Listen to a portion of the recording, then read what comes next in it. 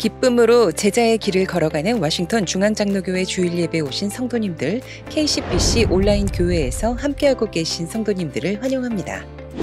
임직자 선출을 위한 임시 공동의회가 지난 주일에 은혜 가운데 진행됐습니다. 임시 공동의회 결과 모든 후보자들이 각각 장로, 안수집사, 권사로 선출됐습니다. 5월과 6월에 임직자 훈련 과정을 거쳐서 8월에 임직식을 거행할 예정입니다. 하나님께서 기뻐하시는 충성된 일꾼으로 준비되도록 기도 부탁드립니다. 서경호 이진주 선교사 파송식이 지난 주일에 있었습니다. 서경호 이진주 선교사님은 필리핀으로 파송돼 고아원 설립과 돌봄 사역을 하실 예정입니다.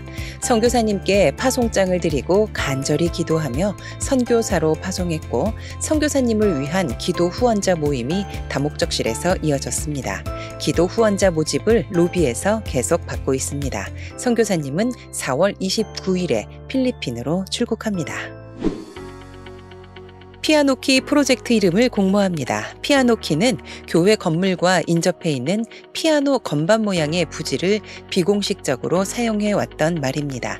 이 피아노키 부지를 다음 세대와 지역사회를 위한 공간으로 마련하고자 다음 세대 운동시설, 성도 간 교제 및 피크닉 공간, 어린이 놀이터, 다목적 야외 공간, 계단식 관람시설 등을 준비하고 있습니다.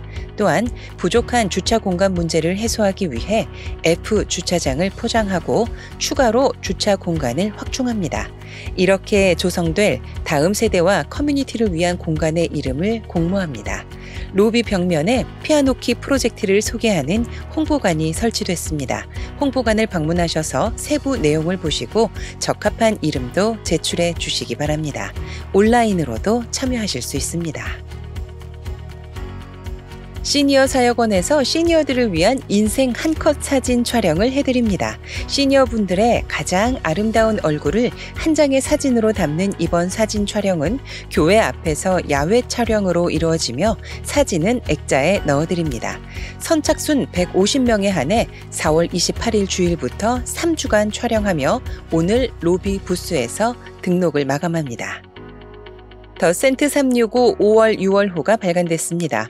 5월과 6월에는 사도행전 말씀을 1장부터 28장까지 묵상하면서 초대교회에 임하신 성령의 역사와 제자들의 복음 전파 사역을 살펴보게 됩니다.